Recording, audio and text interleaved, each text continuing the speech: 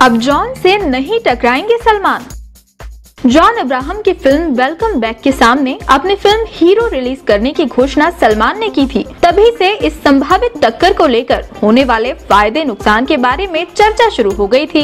Eros company इन दोनों फ़िल्मों से जुड़ी है और वे नहीं चाहते थे कि किसी भी हालत में उनकी ये दोनों फ़िल्में 4 सितंबर को रिलीज़ हो। आखिरकार सलमान ने अपने फ़िल्म को आगे बढ़ाने का फैसला लिया।